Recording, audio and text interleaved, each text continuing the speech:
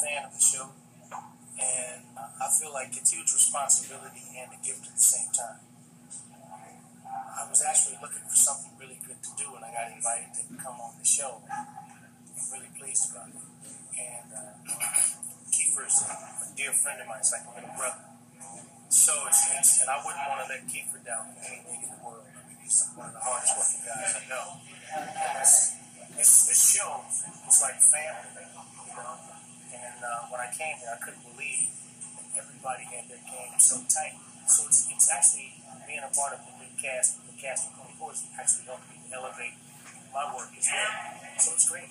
I'm happy to be here.